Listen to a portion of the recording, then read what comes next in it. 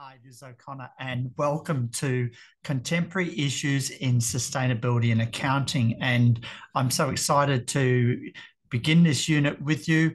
I want to take you through briefly what we're going to cover in this unit through this first set of PowerPoint slides. So let's get started. Yes, exciting, isn't it? I've spent a lot of time visiting factories and companies, especially in Asia, during the last 10 years to know that sustainability issues is not just a reporting issue like it was maybe 10, 15 years ago. Today, it is quite essential to the competitiveness of organizations and their sustainability in terms of sustaining their business and for being around in 10 years' time and 20 years' time. Sustainability has many connotations. It's not just about saving a planet. For many organizations, it will be their own survival if they follow what we learn in this unit. Ah, so you know, there's lots of pronouncements about going green and things like that.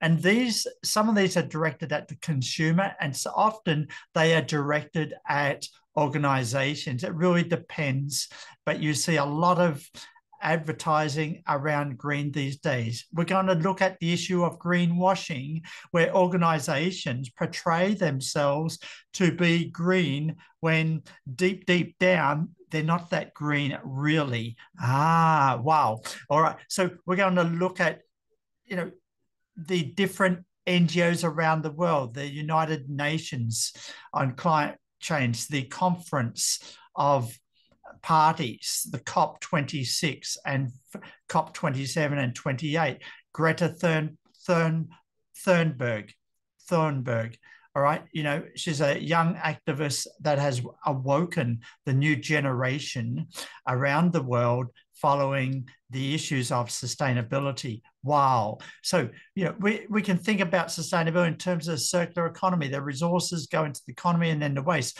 but then the waste is turned back into resources again. Like these are issues in sustainability.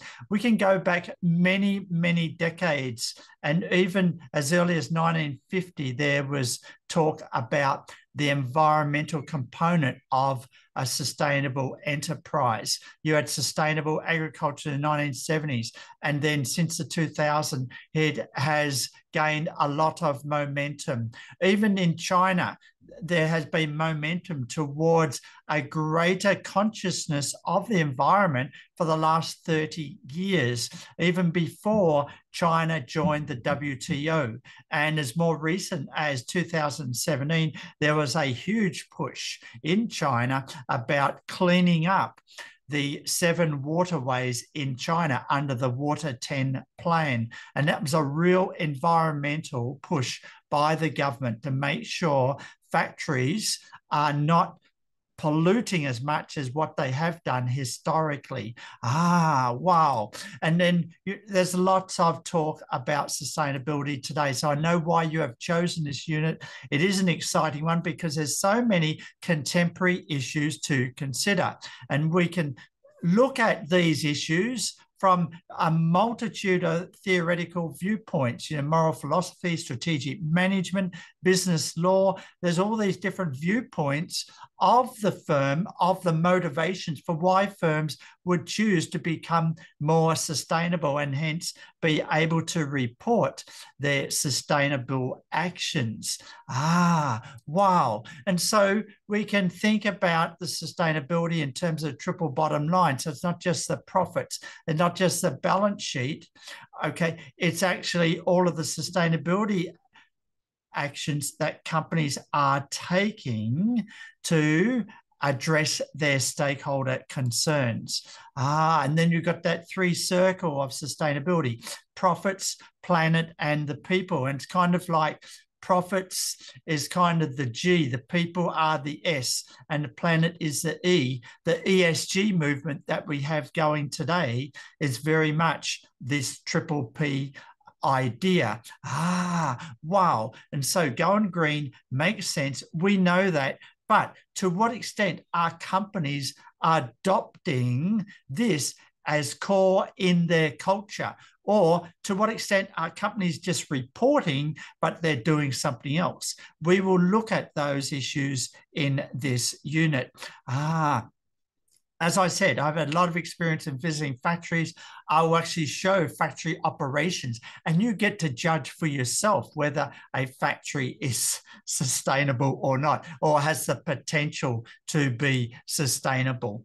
Ah, there are different perceptions of management about sustainability, the morale, the cost of business, the opportunity to offer avenues for lower cost and risk, and the opportunity to increase revenue and market share through innovation.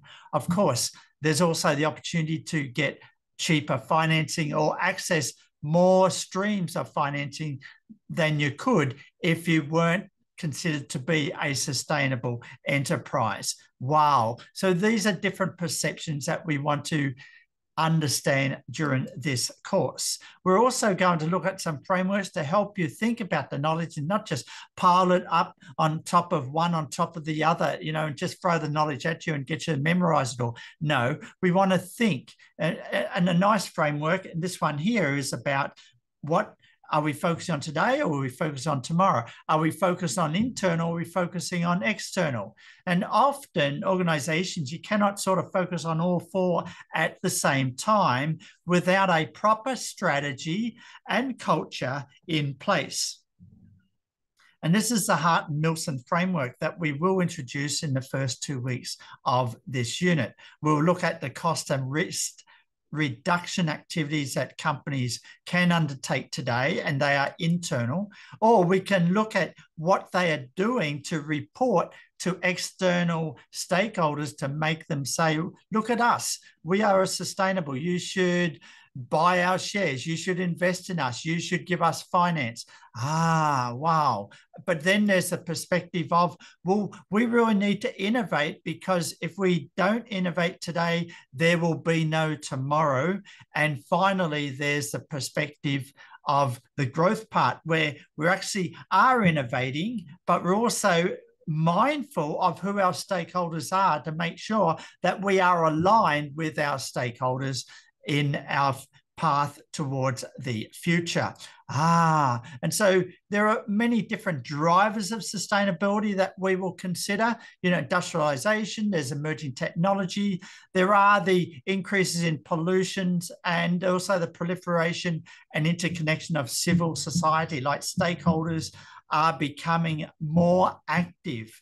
NGOs, a particular stakeholder very, very active in some industries like footwear and apparel. So, you know, you've got all of these factors that are driving sustainability. If management are really don't have their own strategic sense to do anything, they're under pressure by all these different technologies and stakeholders to do something today. Yes, Ah, wow. And so the drivers of sustainability require firms to address that they need to create value, to have more transparency, and to actually show how they're actually adopting new technologies, how they are being innovative so they can have a more sustainable future in the value they create for their stakeholders.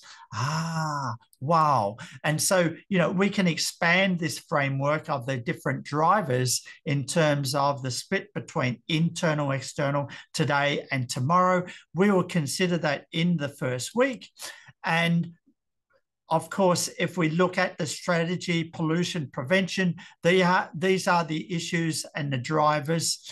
If we look again externally today, these are the drivers, and a lot of it is driven by stakeholders.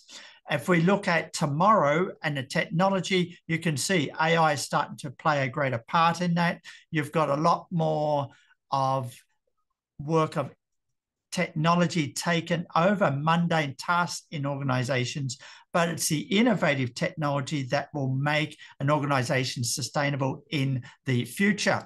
Ah, and then finally, you know, you've got that real moral inspiration and creating opportunities for the future. And this is where the strategy of the organization comes to the forefront because you need the strategy, not just to, to drive the operations and the technologies that need to be in place for the future, but also it drives that sustainable culture, that buzz that people get when they come to work for you. Ah, the sustainable organization that's going to be around for a long time to come. Ah, so there's these four areas that we can address.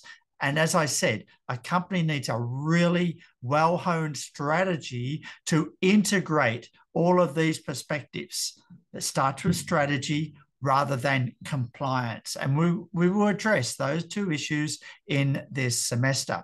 So, the, one of the main points of our common future, many of the same causes of these problems simultaneously underpin entrenched poverty and overconsumption. So there's all these moral perspectives of sustainability and what is the role of the organization today.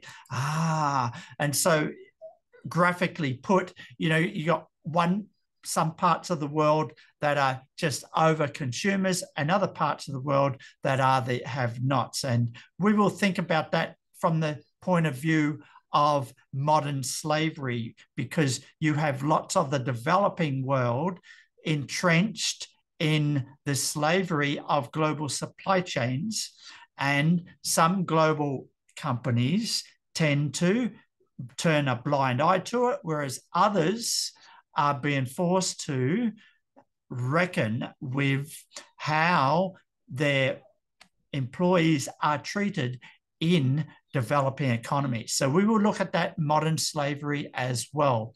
There you go, the value of sustainability. We're going to look at more detail in week two. This is O'Connor. Thank you for joining this exciting unit. Look forward to seeing you in class. Bye for now.